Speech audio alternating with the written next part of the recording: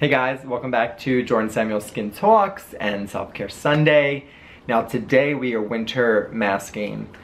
Uh, I might do this mask though a lot throughout the year, but it's going to be most helpful in the dry, cold, winter months. I say dry, and what I mean by dry is because yes, it can be wet and snowy and rainy outside, is the dry indoor heating. Just to clarify. Um, something I like doing though is layering masks. So I know we've talked about sort of the mini ecosystems and if you might be congested here and you want a little clay mask through the T-zone and then a hydrated mask everywhere else. For this, I like to do all over and layer. And uh, I think I've talked about this before, but I'm gonna use my two favorite masks. The Control Correct, I'll do this, so let's see. What am I supposed to do? Like put my head behind it or put my hand? I don't know what I'm doing. Aha! You can sort of see it.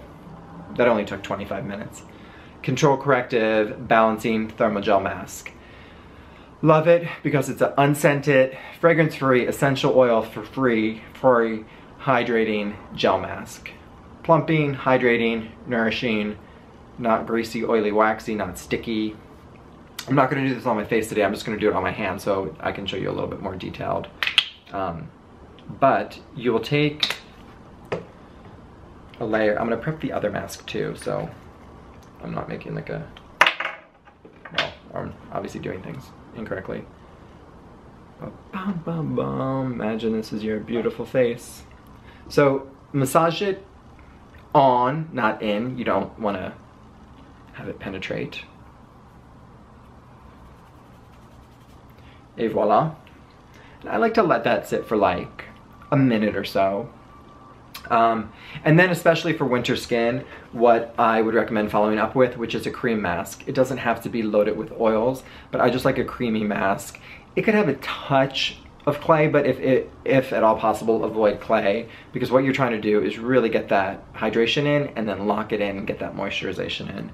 And um, this is a really, I don't want to like oversell this, but it's Caudalie, it's their moisturizing mask. What I like about it is it's really like, don't expect bells and whistles and miracles, but it hydrates and it's easy to use and it's fairly affordable and it's no muss, it's no fuss, it's easy to find. It works really great with this layering trick. Um, and it keeps the skin soft and hydrated and nourished without overly nourishing it. So I really do like it. But you know, use the correct amount. You can go to town with masks. You're going to be removing them. So if you want to use a lot, use a lot. Um, I'm just using this, obviously, to show you on my hand. And then you massage that creamy goodness over top that hydrating gel mask. And then let this sit for, because if you have chosen masks without drying clays or acids or enzymes, 30 minutes and just soak it in. Um, remove gently with a warm wet washcloth. Something I like to do is actually splash with a little bit of water first, sort of loosen it up, remove as much as I can, and then just lightly go in with a washcloth so you're not going in and attacking it. Um, another favorite winter masking tip that I think you guys will love, it's part of, I do it all the time, and it's part of my Friday facials on Instagram, is uh, the After Show Treatment Cleanser. A good dollop size mixed with your perfect combination of either a Étoile with retinol or a Étoile and hydrate.